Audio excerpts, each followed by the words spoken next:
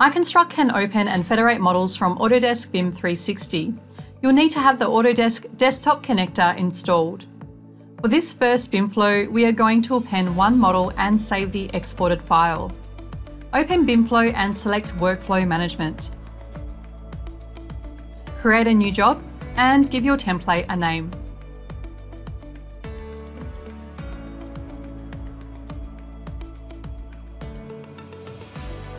Right-click on the job and go to Design Workflow.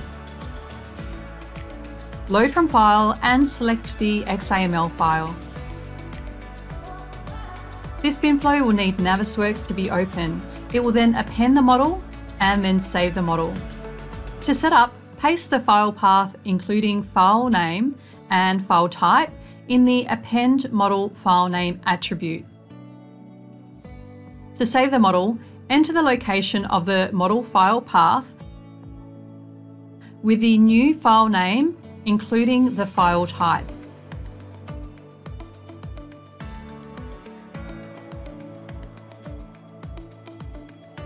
Now you can save and run this BIMflow.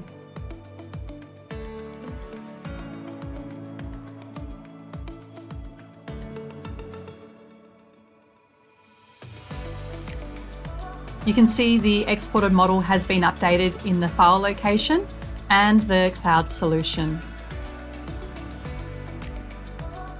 Now to federate the model files from BIM 360. Navisworks will need to be open.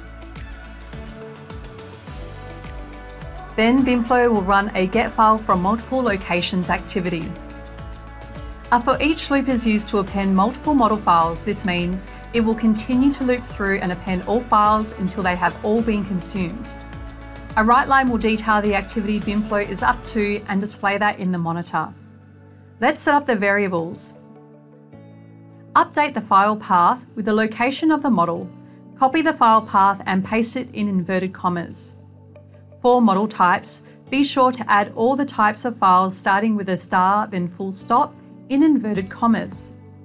The subsearch directory command true or false will indicate whether files in child folders will be used.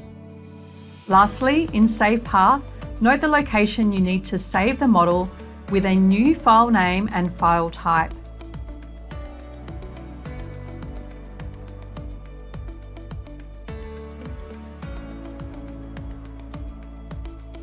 Now we are ready to save and run this BIMflow.